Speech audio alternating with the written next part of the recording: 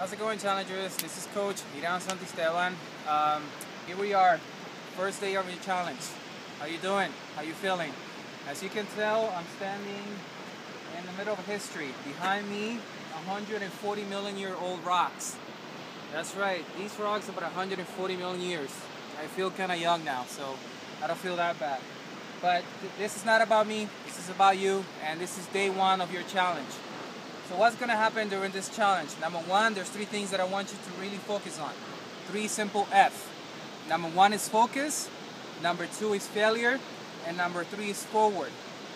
Focus, because that's what I need you to do from day one. Each of you have your meal plans, and if you don't, I will send them out very soon. You got your workouts, you got your calendar, you got your ecology. So right now, all you have to do is focus. Prep yourself, okay? The second one, failure. And the reason why I love failing is because it keeps me humble. It, it keeps me feeling like a human being, not like a robot. And at the same time, it allows me to recognize that there are days that I'm not going to be perfect. There are days that I'm going to have a cheat meal. There are days that I don't feel I'm not going to work out. There are days that um, I'm probably going to do 20 minutes of the 45 minute workout, and those days are okay.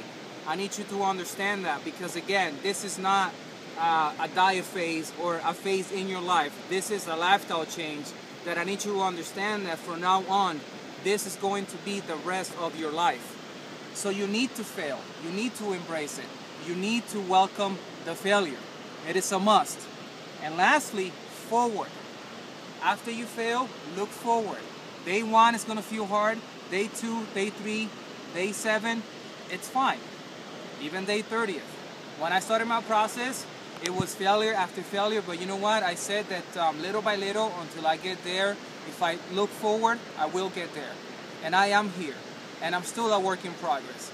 So right now, that's what you are, a work in progress. And one thing I wanted to show you, you see that waterfall? Those rocks, it took 140 million years to build. And one thing that amazes me about water that a lot of people realize is that although your body is 70% water, water is the most powerful element on earth. Yet it is calm, it is subtle, and also has the ability to destroy.